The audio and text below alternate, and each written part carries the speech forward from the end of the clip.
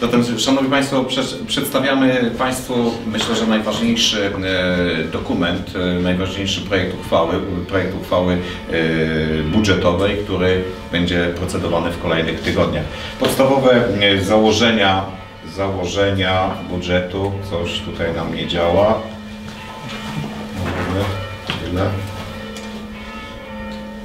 O. Jeżeli chodzi o dochody, to jest 967 e, milionów złotych. Wydatki to jest e, prawie miliard złotych. W tym roku przypomnę, że przekroczyliśmy miliard. Trzeba pamiętać, że budżet jest to e, bardzo dynamiczna e, rzecz, że właściwie na każdej sesji Rady Miejskiej procedujemy zmiany w budżecie. One wynikają z tego, że wiele projektów jest dokładanych w ciągu roku, dokładane są też nowe środki. Myślę, że w przyszłym roku będzie dokładnie tak samo, dlatego e, te dochody pewnie i wydatki prawdopodobnie wzrosną. Jeżeli chodzi o dochody bieżące, e, kształtują się one na poziomie około 900 milionów złotych, wydatki 840 milionów złotych, tak zwana nadwyżka operacyjna kształtuje się na poziomie 60 milionów złotych. Jeżeli chodzi o wydatki majątkowe, to poziom tych wydatków jest ponad 150 milionów złotych, dochody majątkowe około 65 milionów złotych. Co to e, oznacza? Oznacza to, że mamy bardzo dużą utrzymaną dynamikę inwestycji w mieście. To jest właśnie 150 e, milionów złotych. Miasto, które nie inwestuje jest miastem, które się nie rozwija, dlatego utrzymujemy cały czas duży, bardzo wysoki poziom inwestycji realizowanych w mieście. Stąd y, tak zwany deficyt y, majątkowy y, wynikający z, głównie z dużego poziomu inwestycji to jest minus 26 milionów złotych. Będzie on sfinansowany z pożyczki z KPO. Jeszcze w tym roku złożymy wnioski na poziomie kilkudziesięciu milionów złotych. Myślę, że one zostaną rozpatrzone w kolejnych miesiącach. Większość gmin składa tego typu wnioski. BGK będzie to analizował i myślę, że e, będziemy mieli tutaj pozytywne rozstrzygnięcie.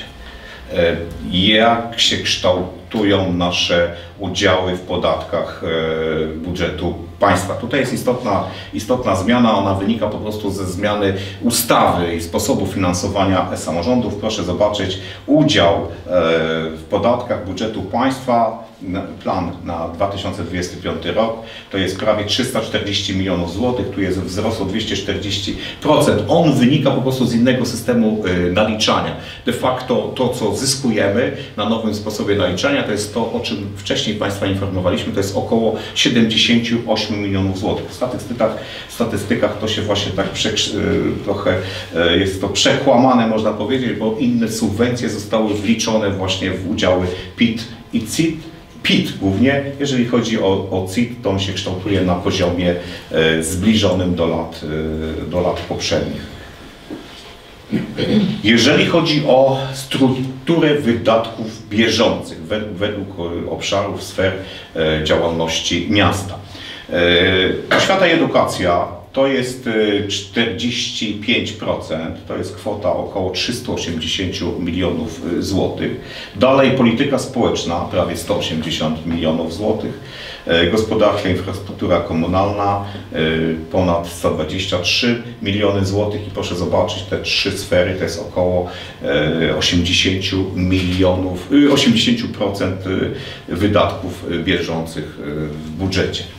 Dalej e, pozostała działalność, w tym administracja, e, to jest 64 miliony złotych, kultura, sport, turystyka 37 e, milionów, obsługa długu 20, nieco ponad 24 miliony złotych, bezpieczeństwo publiczne, ochrona przeciwpożarowa ponad 21 i tak zwane rozliczenia mm, różne, rezerwy nieco ponad 12 milionów złotych. I to są wydatki bieżące. Dalej wydatki majątkowe. E, to są te wydatki związane właśnie z inwestycjami.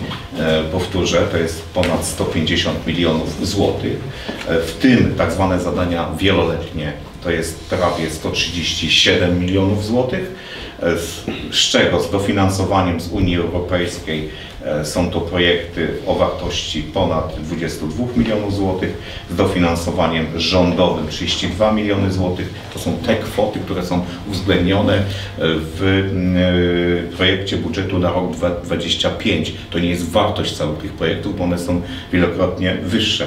Pozostałe, w tym dokapitalizowania e, GIM-u, e, to jest e, ponad 80 milionów złotych. No i zadania roczne, zadania związane z rozstrzygniętymi projektami na GPO, e, to jest e, 3 miliony, e, ponad 3 miliony 600, dokapitalizowania mm, spółek, e, Pozostałe to jest e, 7 milionów złotych, nie uwzględniające GIM-u, no i pozostałe zadania ponad 4 miliony złotych. Główne projekty, e, które zostały uwzględnione e, w budżecie przyszłego roku i to są e, w po- w podziale na inwestycje współfinansowane ze środków Unii Europejskiej, ujęte w budżecie na rok 2025, to są one następujące. Branżowe Centrum Umiejętności w dziedzinie ślusarstwa, mechaniki, skrawania, obróbki skrawaniem w Centrum Kształcenia Zawodowego w Grudziądzu. To jest e, łączna wartość projektu ponad 18 milionów złotych. W przyszłym roku planowane wydatki na poziomie około 15 milionów złotych. To jest bardzo ważny projekt, jak Państwo wiecie, to jest e, podstawa kształcenia zawodowego, ale też podstawa e, dla naszej uczelni wyższej publicznej, gdzie nie tylko uczniowie szkół średnich, ale także studenci pierwszego roku mechatroniki będą korzystali z zasobów właśnie tego centrum. Dalej budowa drogi dla rowerów wzdłuż ulicy Dębowej, e, to jest prawie 4 miliony złotych. To będzie połączone z przebudową e, ulicy Dębowej. Bardzo mocno e, od lat wyczekiwana inwestycja przez mieszkańców, nie tylko Owczarek, bo ulica Dębowa jest ulicą zbiorczą, w tej chwili bardzo niebezpiecznym traktem, niedoświetlonym, więc jest to priorytet do zrealizowania. Dalej budowa ścieżki pieszo-rowerowej wzdłuż ulicy Miłoleśnej.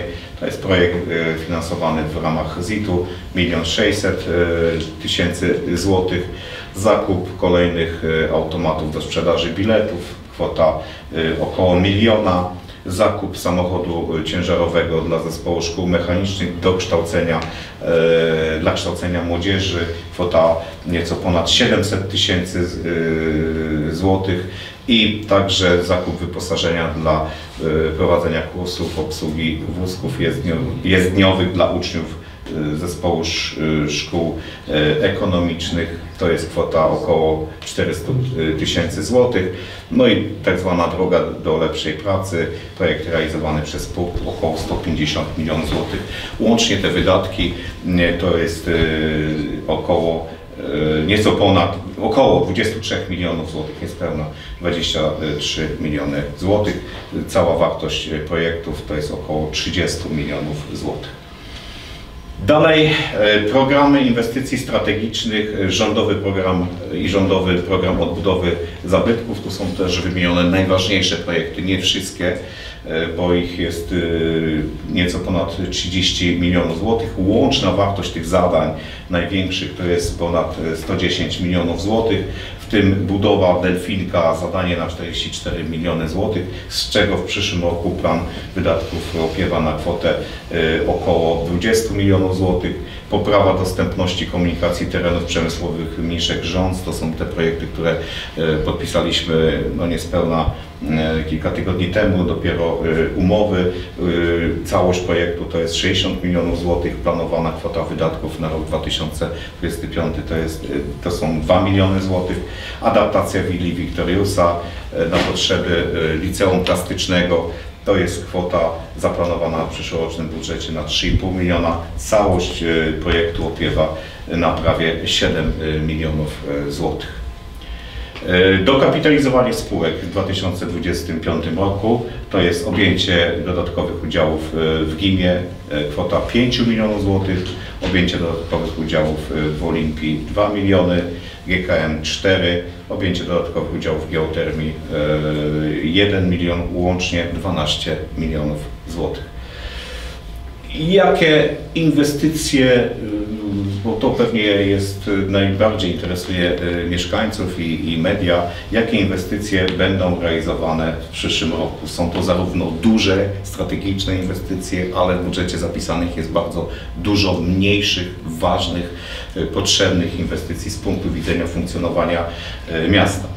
E, główne inwestycje. Przebudowa ulicy Rydgiera Warszawskiej, Skowronkowej, prawie 8 milionów złotych. Przebudowa ulicy Kunickiego, to jest kontynuacja, która już się rozpoczęła, 7,5 miliona złotych. Budowa łącznika karabinierów Łyskowskiego z rondem u zbiegu ulicy mm, Piłsudskiego Karabinierów, ponad 5 milionów złotych. Przebudowa ulicy Kosynierów e, z łącznikiem do e, przedszkola w Śródmieście, a także do, dojazdu do, dawnych, do dawnej siedziby MPGN-u 4 miliony złotych. Budowa drogi dla rowerów, to już wymieniałem wzdłuż ulicy Dębowej, prawie 4 miliony złotych poprawa dostępności terenów komunikacyjnych, o tym też już mówiliśmy, czyli ten duży projekt realizowany w Miszku, 2 miliony złotych, y, budowa i przebudowa sieci tramwajowej wraz z zakupem taboru tramwajowego, mówimy tutaj o wykonaniu kompleksowej dokumentacji rozbudowy sieci tramwajowej zarówno w kierunku Mniszka, ale też i pętli wzdłuż ulicy y, Rapackiego, Dworcowej i, i, i Fosza, budowa ścieżki pieszo-rowerowej wzdłuż ulicy Miłoleśnej, też o tej inwestycji inwestycji, już mówiłem. Dalej, przebudowa ulicy Mieszka, e, Zawiszy Czarnego, prawie 9 milionów złotych. Złożyliśmy na to e, wniosek o dofinansowanie z Rządowego Funduszu. Mam nadzieję, że otrzymamy tutaj dofinansowanie. Budowa obiektu mostowego w ciągu ulicy Bluszczowej, bardzo ważna inwestycja związana z bezpieczeństwem dzieci, dojściem dzieci do szkoły, przedszkola, żłobka. Mm, e, mam nadzieję, że ta inwestycja, te prace właściwe, budowlane ruszą w przyszłym roku. W tej chwili trwa przygotowywanie dokumentacji. Ta inwestycja, ten projekt prowadzony jest w systemie Zaprojektuj i Wybuduj. E, przebudowa ulicy Szarych Szeregów, Okulickiego, Grota Rowyckiego, mm, milion dwieście. Modernizacja ulicy Mickiewicza, to ten fragment od Piłsudskiego do poczty, gdzie zostały częściowo przebudowane już chodniki w ramach innego projektu. Chcemy, żeby ta całość była e, przebudowana, e, odświeżona. Budowa e, ulicy Orzeszkowej Wągla Snyka Baczyńskiego, milion złotych. Ważna bardzo ulica, budowa drogi łączącej Waryńskiego z ulicą Dworcową po terenach PKP. Tu liczymy na to, że uda nam się sfinalizować pozyskanie terenów od PKP nieodpłatnie i przystąpimy do tego pierwszego fragmentu, czyli od dworca właśnie do ronda PPG, przebudowa ulicy Lipowej z budową ronda u zbiegu paderewskiego. Tu też zabezpieczamy y, kwoty po to, żeby rozpocząć procedurę. Ten fragment jest bardzo zniszczony, a stanowi dojazd też do, y, do terenów y, no, przemysłowych, ale też i do szkoły zespołu szkół rolniczych. Dalej mm, wiele, wiele dokumentacji, które e, wprowadzamy po to, aby być gotowym na pozyskiwanie e, kolejnych środków. To jest budowa ronda u zbiegu Piłsudskiego, Sikorskiego i Mikołaja Zryńska. Dalej e, przebudowa ulicy Jagiełły Fortecznej do Czwartaków. To jest ten projekt, gdzie mm, Myślę, że pozyskamy środki, środki z Ministerstwa Obrony e, Narodowej. E, dalej e, wykonanie dokumentacji projektowej z przebudową parkingu na Legionów Poniatowskiego. To też już się toczy. Nowy projekt wprowadzenie przebudowy ulicy Kiri Skłodowskiej. To doskonale koreluje z przebudową zarówno plant, jak i przede wszystkim rewitalizacją młyna, więc przebudowa ulicy Kiry Skłodowskiej jest jakby tutaj kolejnym etapem, ale to się wpisuje w rewitalizację całego kwartału wokół Alei 23 stycznia. Przebudowa Fortecznej, to już też powiedziałem, to jest e, właśnie to, co chcielibyśmy sfinansować w ramach współpracy z Ministerstwem Obrony Narodowej. Przebudowa ulicy Armit Krajowej, również wprowadzenie tutaj dokumentacji ulica Chrobrego Kaszprzaka to jest kontynuacja e, przebudowy ulic na osiedlu Kuntersztyn, e, przebudowa ulicy Moniuszki, przygotowanie e, dokumentacji Smoleńskiego. Tutaj chyba nikogo nie trzeba przekonywać, Smoleńskiego jest w fatalnym stanie. Jest to fragment od ulicy Zacisznej Chopina w kierunku ulicy Warszawskiej. E, Przebudowa ulicy Osińskiego i Dąbrówki, bardzo strategiczna inwestycja Dąbrówki w tej chwili jest ulicą doprowadzającą do szkoły podstawowej nr 18, rozprowadzającą po e, blokach na, na, na osiedlu Tarpno. Ulica jest w katastrofalnym stanie, jest bardzo zaniedbana i w kontekście chociażby dostępności do przedszkola, do szkoły, bu- budowy basenu, e, przebudowa tej ulicy e, w kolejnych latach jest niezbędna. E, Rozbudowa ulicy Soskowskiego od Kularskiego do Konstytucji 3 maja. E, Nie tak dawno, dosłownie piątek oto otwieraliśmy mm, kontynuacja tej, e, tej inwestycji, spięcie właśnie z ulicą e, Frolisia e, i dalej z ulicą Konstytucji 3 e, maja. Dalej, modernizacja dróg gruntowych. Będziemy tutaj wprowadzać kolejne inwestycje związane z modernizacją chociażby e, dróg gruntowych na osiedlu, e, na osiedlu Owczarki. E, Technologia, którą w ostatnich latach realizowaliśmy w oparciu o płyty Jumbo, myślę, że się sprawdziła i kolejne ulice wymagają takiej, takiej, takiej modernizacji. E, Modernizacja mm, ulic o nawierzchni bitumicznej, e, dalej przebudowa chodników na terenie miasta, jest to zbiorcza kwota miliona złotych, dość znacząca. Budowa i modernizacja oświetlenia drogowego, dotyczy to różnych e, dzielnic, ale też i dzielnicy Owczarki, gdzie nie wszystkie jeszcze ulice mają oświetlenie drogowe, a w ostatnich latach powstało tam bardzo dużo nowych domów jednorodzinnych. Dalej y, wykonanie dokumentacji projektowej wraz z przebudową parkingu przy ulicy Czarnieckiego Mm, y, i w dalszej kolejności macie Państwo y, większości zadania, które są, wynikają z gruziąckiego budżetu obywatelskiego. Myślę, że nie będę ich tutaj wymieniał, one zostały ujęte oczywiście w budżecie miasta. Kolejne inwestycje, iluminacja spichlerzy. E, Chcielibyśmy tę iluminację po prostu e, zmodernizować. Ona jest w dość opłakanym stanie, a jednak spichlerze są naszą, naszą, naszą wizytówką, dlatego e, ta pozycja w budżecie. Modernizacja schodów Juliusza Słowackiego, kwota 900 tysięcy. Schody, mamy w tej chwili wykonaną dokumentację. Schody są w tragicznym stanie. Jest to też takie reprezentacyjne zejście na błonia, bardzo też uczęszczane e, w sezonie przez mieszkańców, ale także osoby odwiedzające e, nasze, nasze miasto. Te schody są bardzo, bardzo dzisiaj niebezpieczne.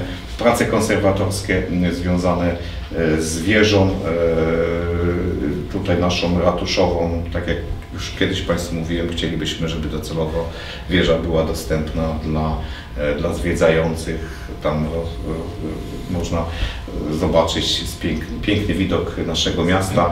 Utworzenie Centrum Obsługi Mieszkańców to jest związane e, z lepszą poprawą właśnie e, obsługi mieszkańców. Mamy na to pewien, pewien pomysł i chcielibyśmy e, rozpocząć realizację tego pomysłu w przyszłym roku. E, Budowa jednostki e, Straży Pożarnej, te środki formalnie przechodzą przez budżet miasta, stąd, jest pozycja m, 10 milionów złotych. No i także poprawa bezpieczeństwa, system monitoringu 15 tysięcy. Dalej inwestycje które w jakimś sensie już niektóre zostały omówione, no branżowe Centrum Umiejętności, to mówiłem. E, Dalej budowa, e, dokumentacja e, na, na budowę basenu przy szkole podstawowej nr 18, to się toczy. Modernizacja dachu w zespole szkół ogólnokształcących, to są mniejsze kwoty. Z większych mamy jeszcze modernizacja wojska w zespole szkół rolniczych, milion złotych. To jest y, piękny teren, e, piękne możliwości, e, także boisko, które może obsłużyć północną część miasta. Dzisiaj bardzo mocno mm, zaniedbane. Dalej budowa kompleksu sportowo-rekreacyjnego wraz z boiskiem dla osób z niepełnosprawnościami przy szkole podstawowej nr 13. Tak jak Państwu zapowiadaliśmy wcześniej, pozyskaliśmy teren od spółdzielni mieszkaniowej i teraz umożliwia nam to zrealizowanie właśnie na tym terenie na terenie, który jest zapleczem szkoły podstawowej nr 13 i przedszkola, e, które jest nieopodal, e, zbudowanie właśnie takiego kompleksu, który częściowo będzie dostępny dla wszystkich, czyli tu duży plac zabaw, a część będzie dedykowana właśnie dzieciom z niepełnosprawnościami. W ten sposób też przeniesiemy plac zabaw z ulicy Kosynierów Gdyńskich, który dzisiaj jest zlokalizowany na cmentarzu. Chcielibyśmy, żeby to miejsce miało swoją godne uszanowanie i, i plac zabaw centralny, taki duży, właśnie będzie zlokalizowany no, kilkaset metrów dalej, ale będzie to zupełnie inny standard. Mm, modernizacja planetarium, obserwatorium astronomiczne, to jest kontynuacja projektu. Tutaj e, będziemy pozyskiwali środki zewnętrzne. W tej chwili e, jesteśmy na ukończeniu dokumentacji, ale to jest projekt już też zaawansowany. Wykonanie dokumentacji na budowę hali sportowej przy zespole szkół technicznych. Też jak będziemy mieli pełną dokumentację, a to się stanie w pierwszym kwartale przyszłego roku, będziemy zabiegali o środki zewnętrzne. Modernizacja boiska w, w, w trzecim liceum, kwota 800 tysięcy nowy projekt rowerem do szkoły, parkingi rowerowe przyszkolne 150 tysięcy, zobaczymy jak to się przyjmie, ale chcielibyśmy, żeby e, więcej dzieciaków, młodzieży dojeżdżało do szkoły rowerami, a żeby to było bezpieczne. Mamy coraz większą sieć ścieżek rowerowych, ale też żeby powstały parkingi rowerowe e, przy każdej, przy każdej szkole. Modernizacja parkingu, właściwie budowa, można powiedzieć, tego parkingu w ognisku pracy pozaszkolnej, tam są też fatalne warunki, jeżeli chodzi o, o zaparkowanie, tak zwane kocie łby na zapleczu e, tego e, budynku, tego, tego ogniska. Mm, kolejne ważne projekty to jest tak zwana błękitno-zielona apopunktura, rewitalizacja przestrzeni publicznych. Tu, tu, będziemy zabiegali o tak zwane pieniądze szwajcarskie. Bardzo duży projekt. E, to jest e, niewielka kwota, która jest zabezpieczona na, na wkłady własne. Ten projekt jest z bardzo dużym poziomem dofinansowania. Rewitalizacja terenów wzdłuż kanału Trynka, rewitalizacja plant, to jest przygotowywanie dokumentacji, program Ciepłe Mieszkanie, konserwacja y, i prace budowlane w Pałacu Opatek. To jest środki pozyskane zewnętrzne, na to mamy no i opracowanie dokumentacji na dwa obiekty historyczne dawnej szczelnicy przy ulicy Kustronia i co ważne bardzo, opracowanie dokumentacji historyczno-architektonicznej dzieła rogowego Cytadyli 50 tysięcy złotych. Pozostałe e, Centrum Aktywności Gospodarczej i Sportowej w Grudziądzu 200 tysięcy złotych. Jest to e, hala, o której mówimy, o, o, o budowie hali na widowiskowej z torem kolarskim na osiedlu Rząd. To jest ten projekt, który został wpisany do strategii e, marszałkowskiej. Mam nadzieję, że uda nam się zdobyć też środki na dokumentację właśnie ze źródeł marszałkowskich. Całość to, to, jest, to, to jest bardzo duży projekt. E, przypomnę, że marszałek ma w swoim budżecie zabezpieczone około 150 milionów na realizację tego projektu, aczkolwiek nie jest to kwota wystarczająca. E, dalej modernizacja e, w innych obiektach sportowych, chociażby klubie Start około 100 tysięcy złotych, modernizacja kompleksów sportowych, moje boisko Orlik, e, tutaj uzyskaliśmy dofinansowanie, to jest prawie 4,5 miliona złotych, no i mniejsze jeszcze e, projekty e, poszukiwania środków na modernizację osady Gród.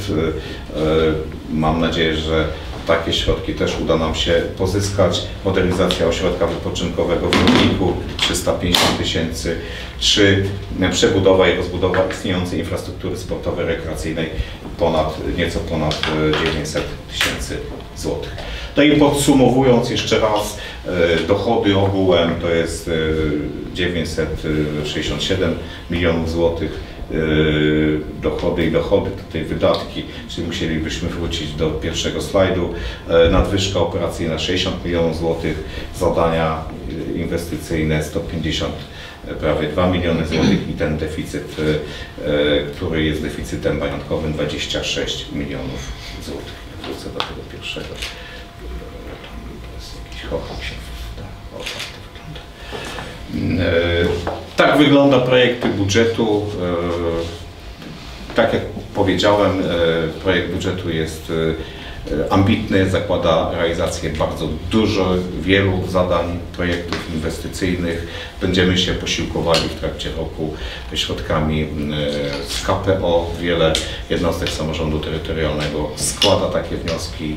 My też e, taki wniosek złożymy w pierwszej kolejności na re, refinansowanie już projektów, które zostały zrealizowane, ponieważ jak Państwo wiecie, Polska jest opóźniona, jeżeli chodzi o pozyskiwanie środków e, z KPO, więc mamy prawo do, do odzyskania pewnych, e, pewnych środków, które już zainwestowaliśmy, no ale ta procedura jest e, dość długotrwała, E, w związku z tym myślę, że ten budżet będzie na bieżąco po prostu jest dynamicznym rzeczą, będzie na bie- bieżąco po prostu monitorowany i będzie ulegał zmianom, ale zmianom tylko na lepsze.